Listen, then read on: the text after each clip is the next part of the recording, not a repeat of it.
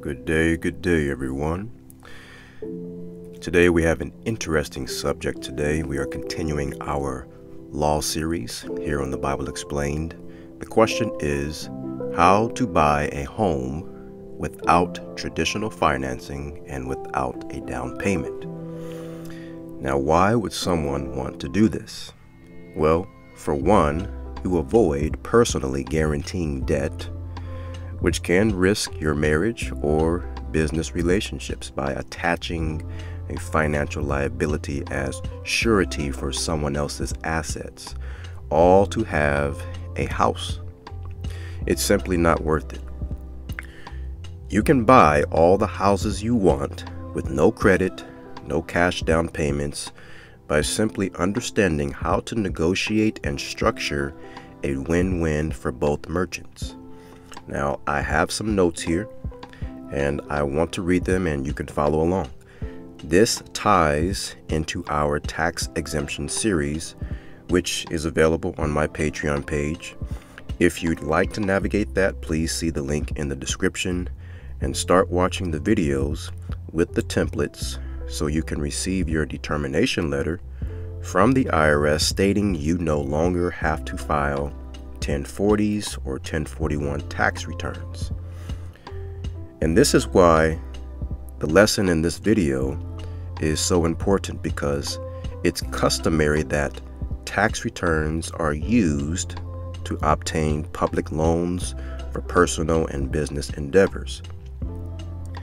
But there is another way.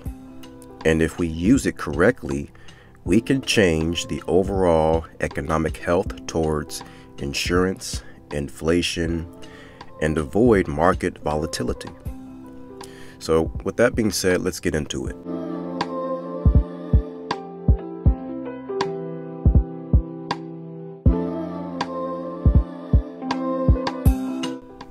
Okay, how to buy a home without traditional financing and without a down payment. Now, I've broken this down into a couple of steps, as well as we're going to go over what actually happens when you purchase a house on the commercial level or getting a federal backed loan. Okay, so step one first thing you're going to do is search for the for sale by owner homes in any neighborhood that you want to live in and find homes that are not occupied, meaning the seller does not live there. And this is highly important because the seller does not need any of the equity from the proceeds of the sale of the house in order to move on to the next house. So let's go to Zillow and see if we can find our example house.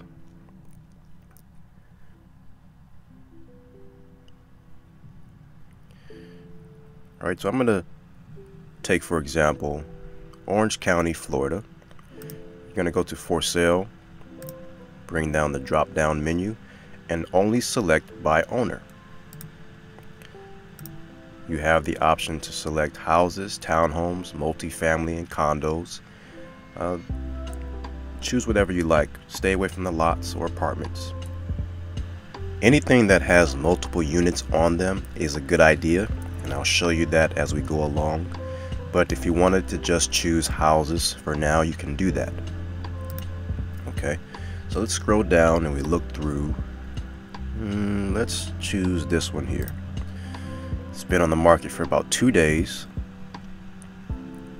This is 1232 Creek Bottom Circle for 345,000. Three bid, three bath, 1400 square feet and it looks nice and after we've done our research in the area what we would do is contact the property owner and this is their phone number what you would do is contact this owner and begin to have a conversation so what does that look like before I get into the steps on how to do that let's talk about the opposition Normally, we would go to a national association after dealing with an agent so that we can get qualified to finance the house. This is what we normally do. The National Association that is a Federal Reserve Bank participant such as Chase or Bank of America, etc. And we would fill out a mortgage application. Most people do not realize the real process that takes place behind the scenes. And very similar to the other contracts such as passports applications or SS5s uh, for the Social Security application, driver's license applications, or voter registrations, the mortgage applications further solidifies the forfeiture of our true nationality and we would become subject to the infamous thereof. And what is that? The infamous thereof is the 14th Amendment, where you are a person born or naturalized in the United States and subject to the jurisdiction thereof the jurisdiction thereof, which is the District of Columbia, as their U.S. citizen subcorporate chattel. Now, in our tax exemption process, we want to abstain from this selection at all times. The way we do that is not by personally guaranteeing debt using old age insurance, securitization, or social security numbers, but by going back to the ways of the old republic and that's the ways of the law of the merchant. And that's creating or introducing creative financing. Now, we will eventually get into utilizing promissory notes and bonds to draw funds from vehicles such as whole life insurance policies or laser funds. But for now, let's focus on what truly happens when applying for a mortgage followed by case law supporting the fact that no money is given from the bank's liquid cash to the seller on behalf of the buyer. So, when you go to the bank in person or online, you filled out some paperwork. And one of the documents you sign is the mortgage, which was notarized and recorded with the Registrar of Deeds in the county. And the other document is a promissory note which represents a promise to repay a certain amount amortized over 10 to 30 years. And this document is not notarized. And that is like signing a blank check. In other words, you signed a negotiable instrument, which is why in the first couple of years of owning the house, you receive several notices through MERS that the holder of the note changed from one bank to another.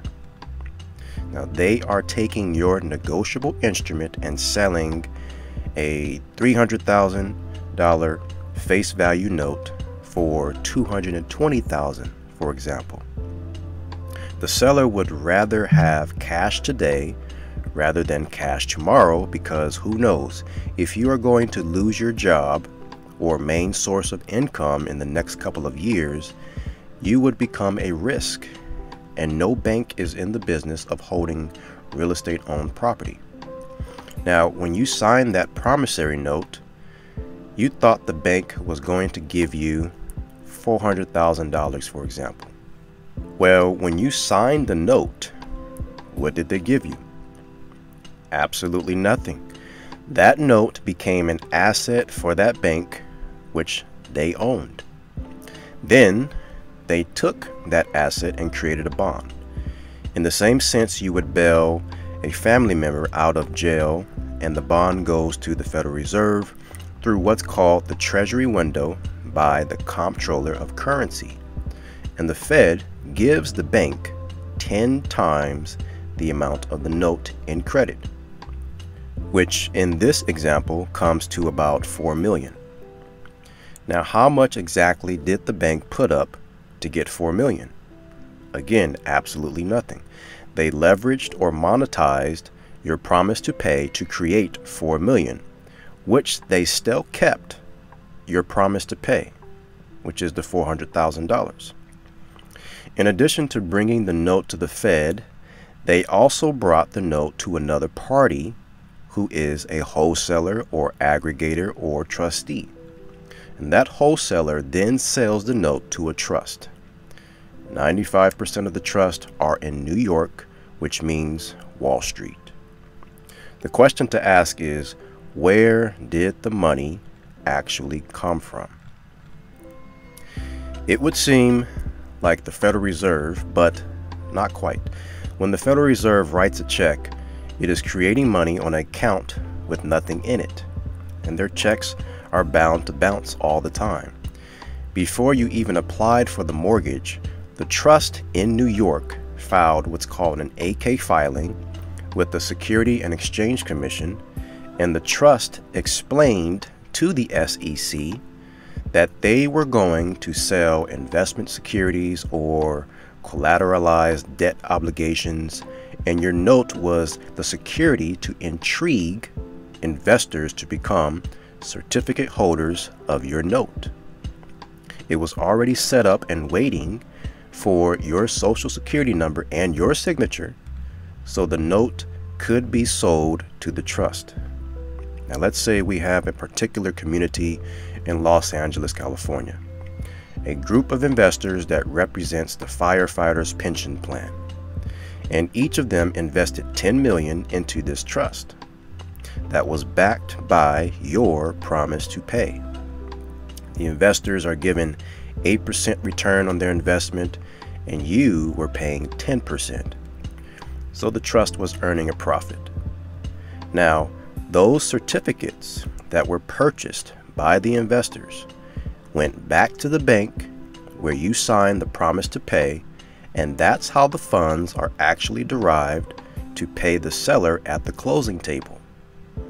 So that simple note that was never notarized, it traveled around the face of the earth gathering money. It created 4 million in bank credit upon your signature. It also intrigued several pension plan investors to invest into a trust, receiving a trust certificate, and those funds were routed back to the bank. This happens because a national bank cannot lend its credit to another by becoming surety, endorser, or guarantor for him such an act being ultra vires. That is Merchants Bank versus Baird F 642. You can look up that case law. So all of this sounds good, sounds like a good deal for the bank, right? Well, let's move on.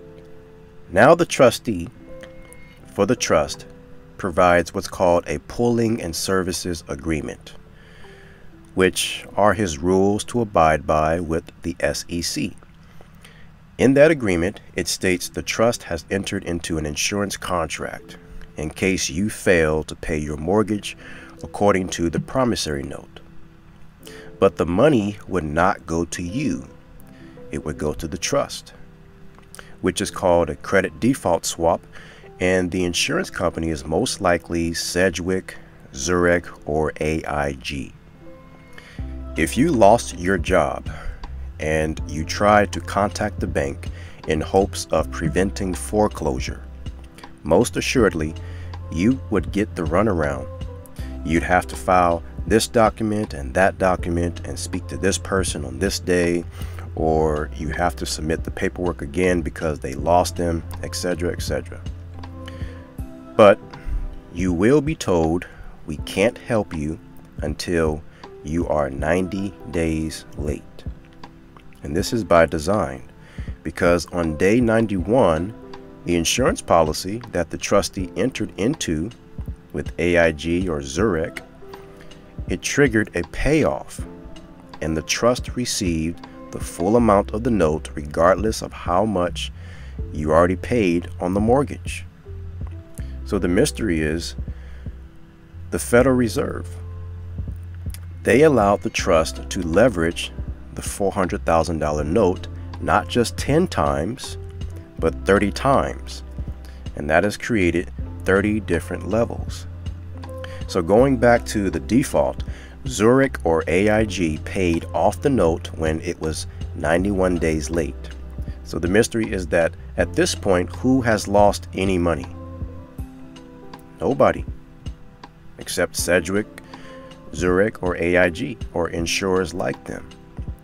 But here's the kicker the alleged lender or the trust, they will attempt to foreclose on you and nobody has any real skin in the game. No actual valuable consideration has been given. And it was your note, your signature on a blank check that created the money while requiring you to repay what you already created. Everyone has been paid commissions and they are very successful at stealing houses through wrongful foreclosure. And the only real players in this game are those that have enough money to hire an attorney who knows what to do and he can only represent artificial persons on title to the house. Cannot represent a real natural person such as an express trust because the attorney owes allegiance to the bar, which is the City of London, and therefore that is the Crown. And that goes back to the Sestuke v. Act of 1666, where everybody's estate is abandoned and held in trust, waiting for the right owner to claim their property. Now, only a natural person can claim it. And right now, as an artificial person, being one that is surety for a debt because you provided that social security number and your signature, you would need legal representation to even make an attempt to reclaim your property. And that's any property. So, what is the attorney doing? Well, he's delaying the process, and at best, he's buying you time to save a couple months' rent. And at the end of the procedure, the attorney gets a dismissal without prejudice, which means the alleged lender, who doesn't have any skin in the game, can come back in a month's time and reattempt the foreclosure process while you have exhausted the funds to hire another attorney. Now, everyone who has experience with a mortgage is familiar with MERS, which stands for Mortgage Electronic Registration Systems who was formed by the banks and became members. At the closing table, MERS is named the nominee lender, who takes possession of the mortgage electronically, not via hard copy. By being the nominee lender and having possession electronically, they believed the note followed the mortgage. However, the U.S. Supreme Court of 1872 said the note and mortgage are inseparable because one secures the other. But if they are separated, then they are both null and void.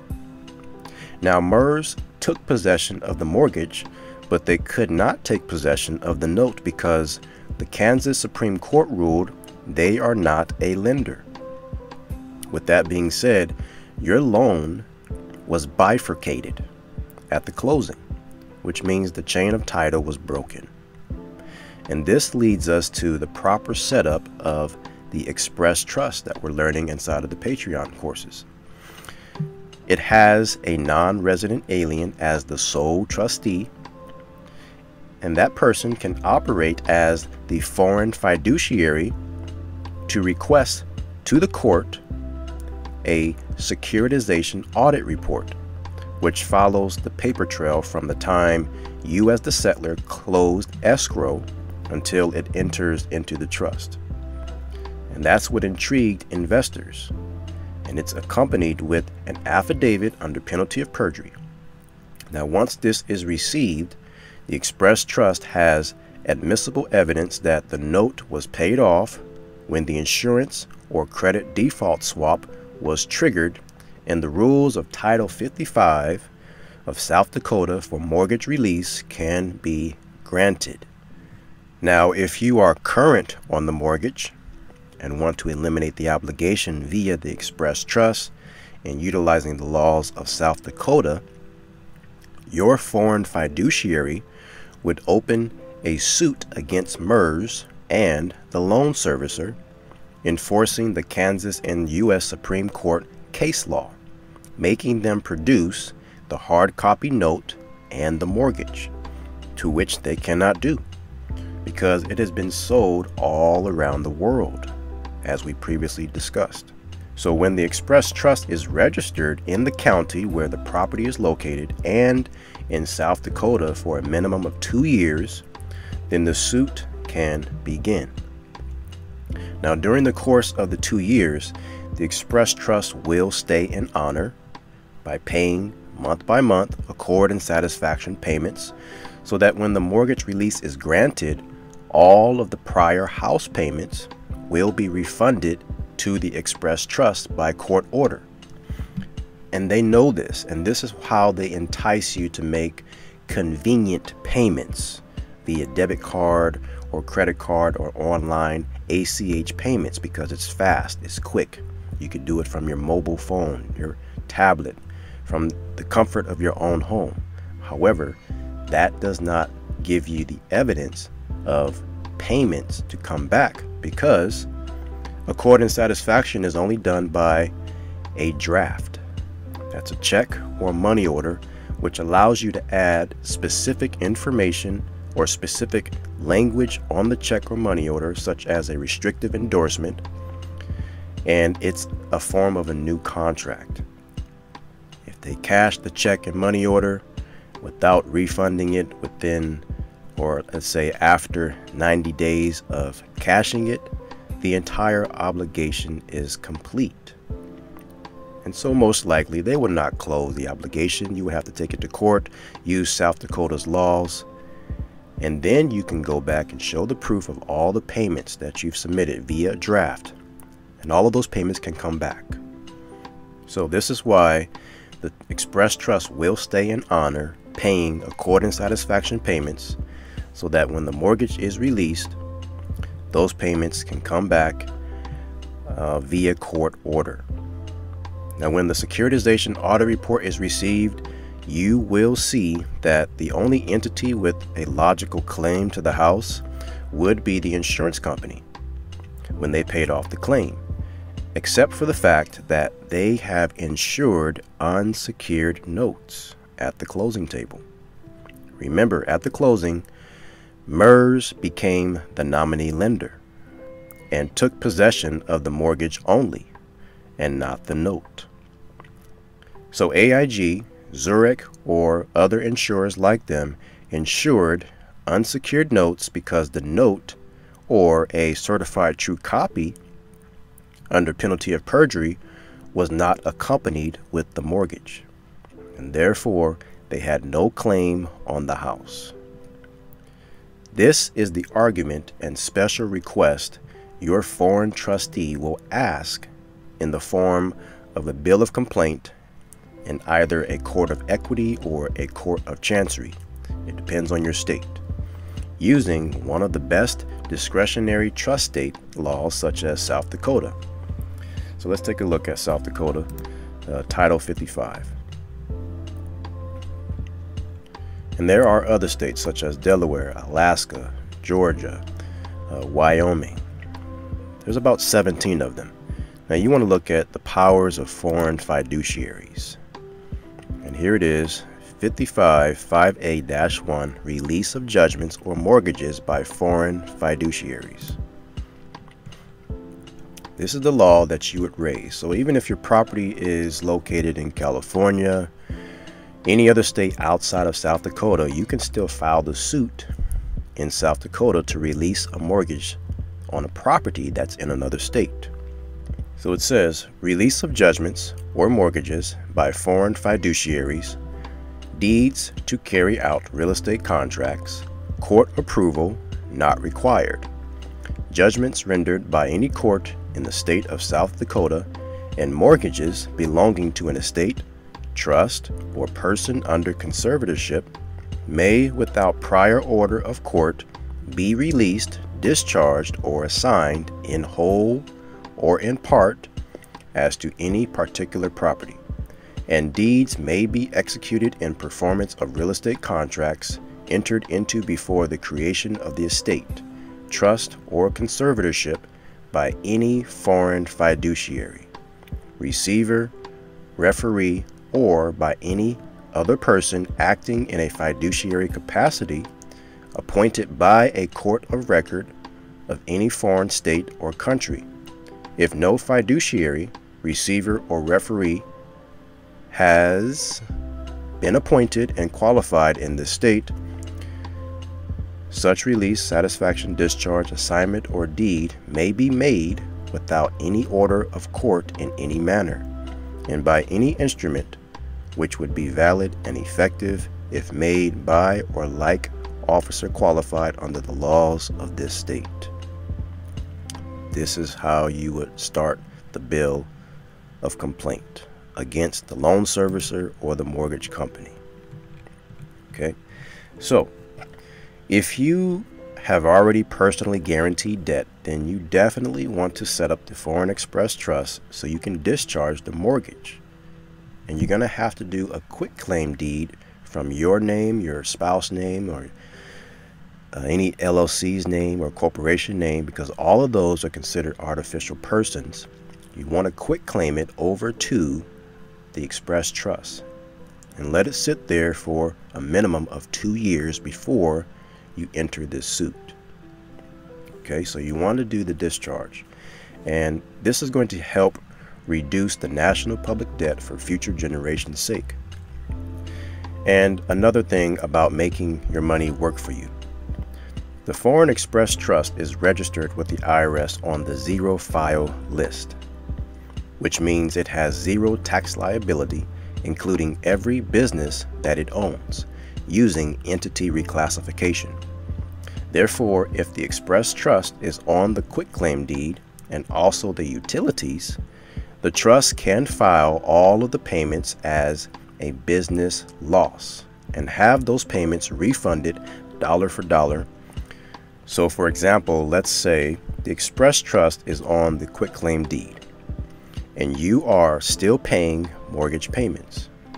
If you have a home business or you are leasing a specific square footage to another person, which is backed by a lease agreement, then the lease payments, which are collected and distributed to the mortgage or loan servicer, can be claimed as a business loss for a refund as well by properly filing a 1041. This way, the monies that are refunded to you can go towards next year's mortgage payments while the payments received by your tenant can be yours for other investments. So essentially, the IRS is paying for the house. So if you did not go through the court selection and, and doing the discharge or mortgage release, you can just utilize this method and use the refund money to pay the mortgage down every year. The same money that you use to pay the mortgage, you would claim for refund on the 1041. It gets refunded, so it's rinse and repeat.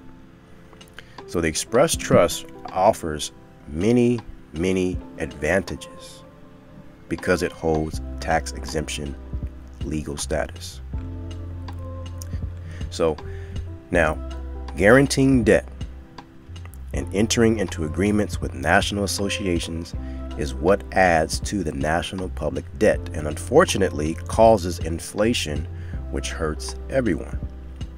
To support a fractional reserve system, whether it's utilizing personal or business credit, we are devaluing the power of the dollar every day, operating with negotiable instruments. So we can avoid all of this by first having a conversation and creating a win win situation for both the settler and buyer when it comes to buying a house. So let's go back to our house that we found on Zillow and take the proper steps to buying with no money down and no credit. Okay, so we have the house that we searched for, which is the $345,000 house in Orlando. Looks good. Let's move on to step two.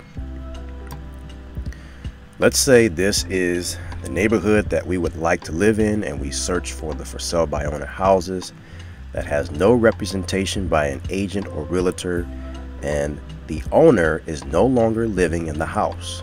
They've already moved on to a new house. Now, what does that tell you? It doesn't mean that they're motivated to sell or they are desperate. It just means they don't necessarily need the equity right now or proceeds from the sale to buy the next house. So let's look at it. We contact the homeowner and we get some information. They're asking 345. We looked at the comparables in the area, the top three with similar specs, and it's going for 359,000. That's the ARV after repair value. After talking to the seller, you determine that they got a couple of offers, and of course, they're lower than what they're asking. The first one at 343 and the second one at 341. You're going to go ahead and say, Well, I'll give you 347, $2,000 more than what they are asking. Why? To grab their attention, of course. Step 3. Now, once you sit down with the seller, they will obviously ask you why you offered more and this is when you present a question for them. They already moved on and they do not need the equity to purchase a new home, so simply ask, Would you mind telling me what you owe on this home? And most people would not have a problem with telling you. And let's say they owed current mortgage of 220,000. They're asking 345,000. So that gives them an equity of $125,000 in equity. They would receive this immediately if you went and got a loan to cash them out. Their current payment, payment, interest, taxes, and insurance, it comes out to $1,250 per month. Now, a lot of times, if the 125,000 is not needed to buy another home, sometimes the seller does not have a plan for it, except to leave it sitting in the bank or it may be for their offspring's college fund or to reinvest in another piece of real estate property. It is very common where sellers use it for savings or college fund in a traditional credit union or bank at 1% interest. Now, according to our chart, it says at 125,000 equity at 1% interest, that is earning exactly equal to the monthly payment that's what they would earn annually on 1% interest from the bank if they just left that money in the bank. And let's say in five years from now, they were going to use that money for a college fund or to reinvest into another piece of property. That would add up to $6,250. So they would have a total of $131,250 at the end of five years, earning 1% by the bank. Okay, so what we do is simply offer them a higher rate of return on an investment by offering the sellers the opportunity to earn 7% on their equity opposed to 1% over 5 to 15 years. So banks and credit unions, they often loan money for mortgages. Now you loan them your money by making a deposit and they turn around and distribute those funds into vehicles such as forex market whole life insurance policies, and loans with massive returns and pay you 1% while they keep the other 99%. This is what they do. So, all we do is cut out the middleman here. One of the safest investments is a mortgage contract by having a real estate attorney close what's called a wraparound mortgage. If you live in a mortgage state such as Florida, or the attorney would close an all inclusive deed of trust if you lived in a deed of trust state such as California or Nevada. The wraparound mortgage is simply taking the interest on the equity as a second mortgage and wrapping it around the existing one. Okay, so what does this look like? Let's go to step four. The existing mortgage is 220,000. PITI is 1250 if we offered them, let's say 7% interest for 10 years on their 125,000 current equity. That's going to give them an additional $87,500.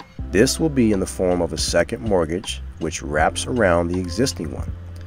So that takes the existing mortgage of 220 and brings it to a total of $307,500,000 as the new mortgage. They would receive interest only payments on that 87 grand at $729.16 per month. So the total payment for you would be $1,979.16. Done. That's an easy win win. Easily, simply by entering into a win win conversation of creative financing. Now, you can use a service company called Escrow Serve who can distribute the payments to the underlying mortgage company and the interest only payments to the seller automatically for just $15 per month. So you just bought a house for $307,500. You're paying $1,900 per month. Escrow Serve is taking 1,250 to the existing mortgage and the 729 to the seller for their interest only payments. It's very simple. So by doing a wraparound mortgage or an AITD, all-inclusive trust deed, you've provided a security instrument to the seller, which is now an asset. Now let's say they did not move on to another house and they wanted to take advantage of this interest that you presented to them. Everyone would like to know how would they qualify for another house if the current loan is still on their credit report? Well, they would simply provide the wraparound mortgage that is recorded in the county to the bank after at least one year of seasoning. That means one year of you making those payments to them. And this shows the bank they have an income that washes out their outgoing. So their debt to income ratio is balanced to receive a new loan. So you offered 347,000 in the beginning but you walked away with a $307,500 mortgage at $1,979.16 per month. And you know that this asset is going to appreciate. So, and the seller knows that if you default, they have the right to take back the mortgage, take back the property that has increased in value over time, and they can just put it back on the market and get their money right away if they wanted to. So it is in your best interest to do a deal this way, and it's in their best interest to maximize on their equity. Now, of course, that 307,500,000 mortgage at 1900 per month is for 10 years, and that's going to give you the benefit of debt paydown this original existing mortgage is going to be paid down. It's also going to give you home ownership with no Social Security credit monetization or cash down. And at the end of the 10 years, you simply write up another wrap on the current mortgage amount so the seller can keep receiving interest only payments until the principal is paid off. I can assure you, unless it is an emergency, the seller will continue another wrap.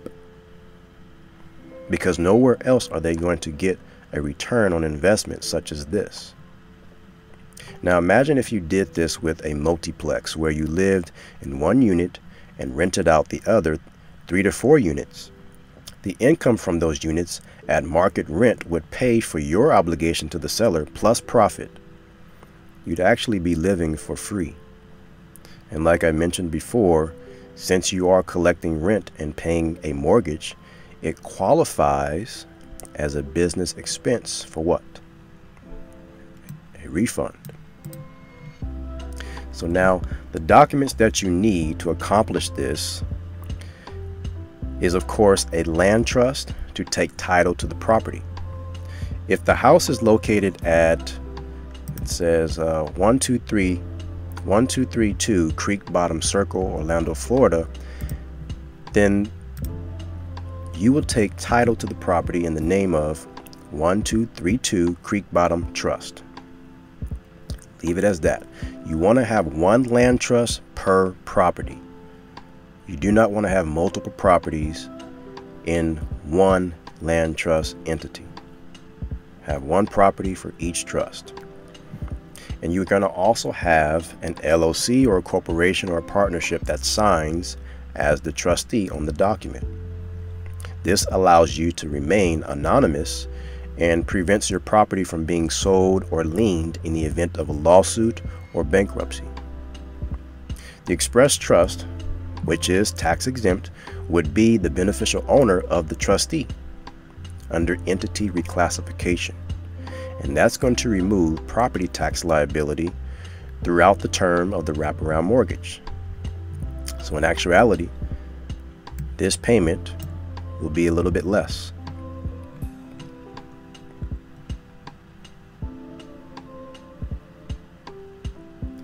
Now, I briefly talked about other means of funding a trust besides just real estate assets with vehicles such as whole life insurance policies.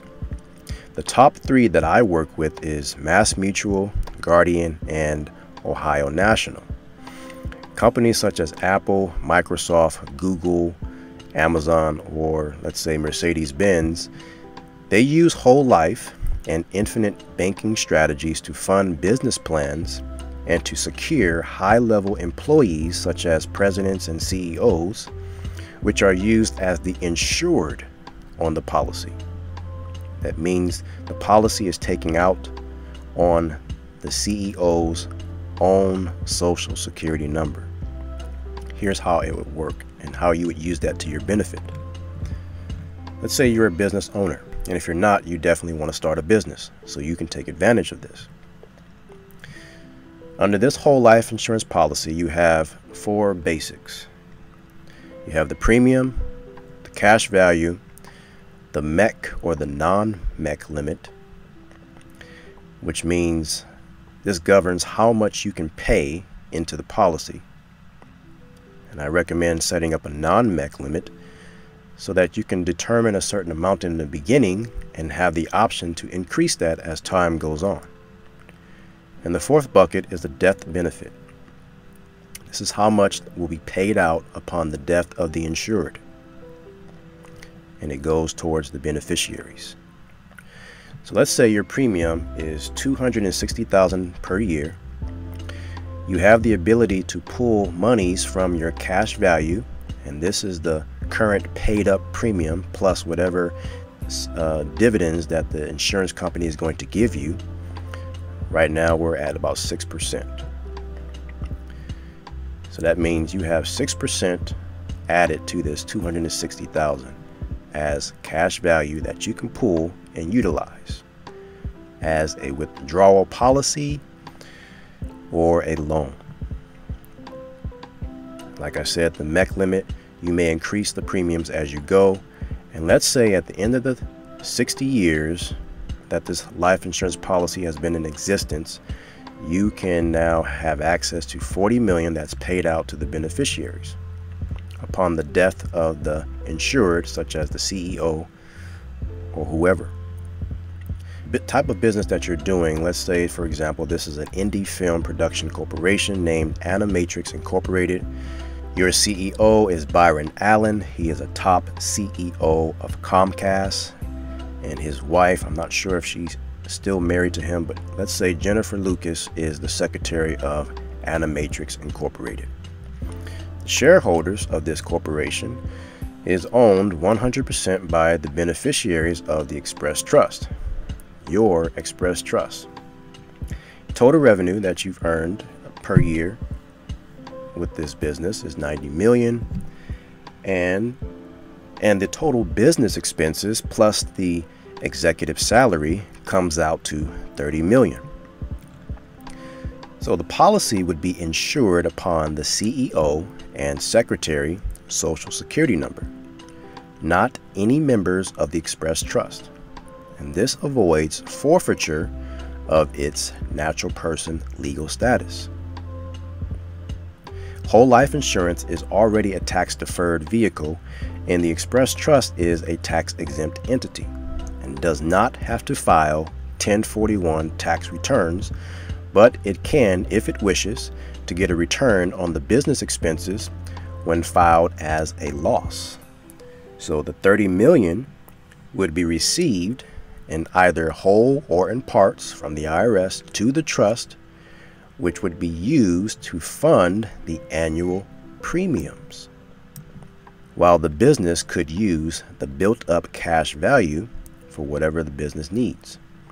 So let's look up how cash value operates. And this is under Mass Mutual. Right here, access to cash value. A business owner who owns a whole life insurance policy can borrow against the accumulated cash value for a variety of purposes, including to help the business weather uncertain economic times, pay overhead expenses, or provide supplemental cash flow. I would definitely use this for retirement income. This entire method is called COLI. COLI stands for Corporate Ownership of Life Insurance. It refers to an insurance policy taken out by companies on their employees, typically senior level executives. The company is responsible for making the premium payments, and if the person dies, the company, not the insured person's family or other heirs, receives the death benefit. It's the company that receives the death benefit. Such policies came to be called dead peasant insurance after some companies purchased life insurance on low level workers without their knowledge. I can assure you this still happens today.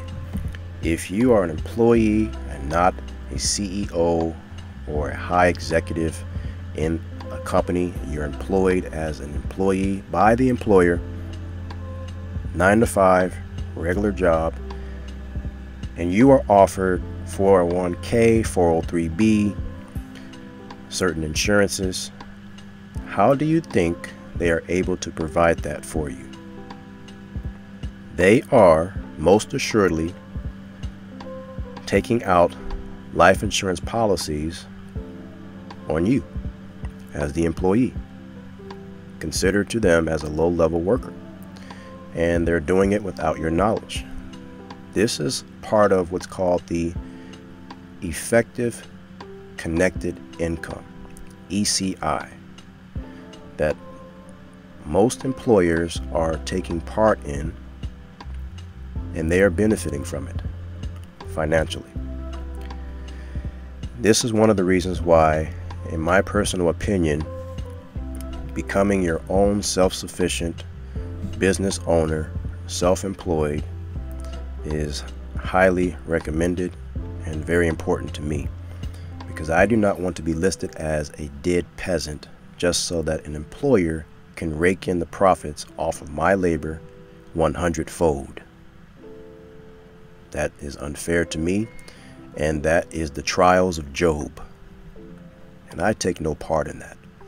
So, that's it as a sneak peek on how to fund the trust with whole life and to use the money for business expenses, which can be refunded opposed to a write off. And that's also going to be it on the subject of buying a home with no banks, no credit, and no cash down. If you need the land trust docs and wraparound mortgage documentation, join the Patreon page and I will get that to you. If you need a consultation on structuring these types of deals, call me at 689 244 0825. But remember, we always close these types of documents with a real estate attorney. And remember, if you're seeking tax exemption, whether you are a W 2 employee or a 1099 individual contractor, you can obtain tax exemption perpetually for you and your family, and most importantly, for the next generations. With that being said, I will see you in the next one.